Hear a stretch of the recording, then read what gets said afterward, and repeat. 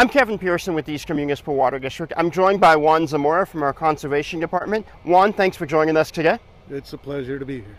During the drought, a lot of people have asked us, you know, how do I maintain my property while still conserving water? Uh, what's the one thing people can do to really maintain their landscape but water as efficiently as possible?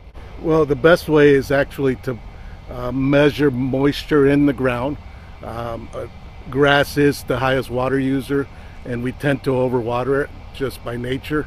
So, checking the moisture in the ground is the best way. And how would people go about checking the moisture within the ground? Well, there's a couple different ways, and but one of the most simplest is to use a little moisture sensor.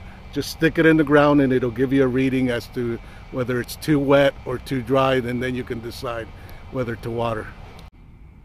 Okay, so the simple way of doing this is you take your um, moisture meter and very simply stick it in the ground. It's got a reading from dry to wet. And as soon as you stick it in the ground a few inches, it'll, it'll give you that reading, just like this. And in this case, uh, my reading says wet.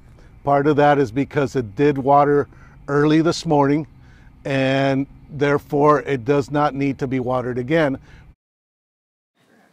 To understand the water needs of different plant types, be sure to refer to the packaging on your soil moisture meter or check with your local nursery provider for more information.